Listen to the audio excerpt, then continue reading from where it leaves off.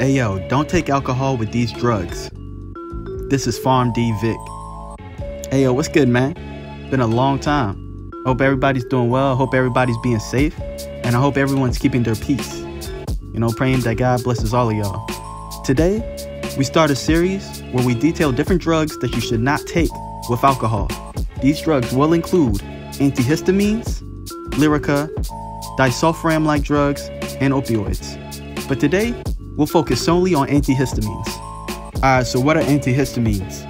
Antihistamines are drugs most commonly used for seasonal allergies, but can be used for other things as well.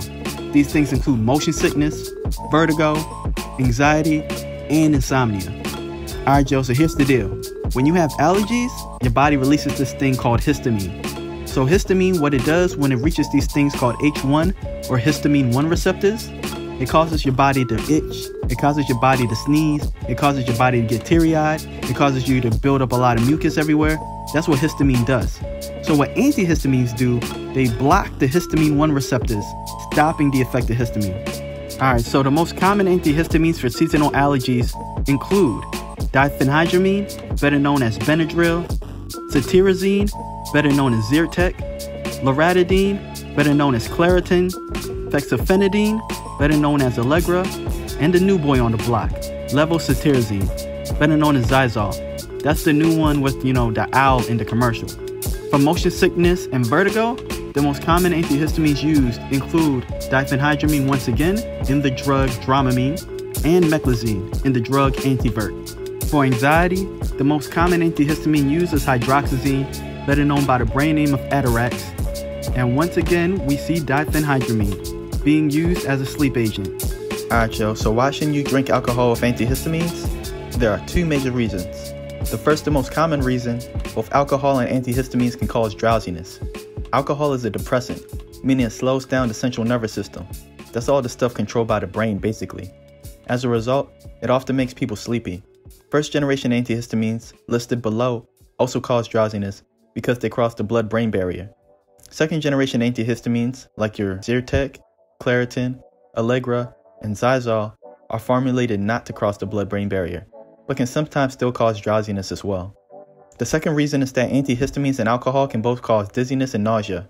Antihistamines are known to cause dizziness to the point that antihistamines aren't recommended in adults over the age of 65, according to the Beers criteria list of medications which is basically this rulebook on how to treat old people on drugs. Now imagine if you gave Grandma Susie some of that sippy sip with some Benadryl. Shorty could have a real bad time. Here's a quick pop culture example. During the seventh season of the critically acclaimed Cosby Show, there was an episode called No More Mr. Nice Guy. During this episode, Theo was cooking dinner for a date. Before his date arrived, Ellen, the girlfriend of Theo's friend Denny, arrived to talk with Theo about Denny's surprise birthday party. She had some wine, but forgot she had taken antihistamines during the day. Before she left the house, Ellen became nauseous, running up the stairs to the bathroom, where she then proceeded to throw her guts up. Ellen would then complain about feeling dizzy while recovering upstairs, falling in and out of sleep, showcasing all the risk I previously discussed. This episode shows the potential side effects of mixing alcohol with antihistamines. Alright, so music for today's video was provided by eu-IV, a prolific beat maker from my native Baltimore, Maryland. Check them out on YouTube, SoundCloud, Apple Music, and Spotify. Other people who have been featured on this channel when it comes to the music includes Tails, Techloon, McClenny, and Radical the Kid. Feel free to check them all out. Alright, if you like this video, feel free to like, share, and subscribe.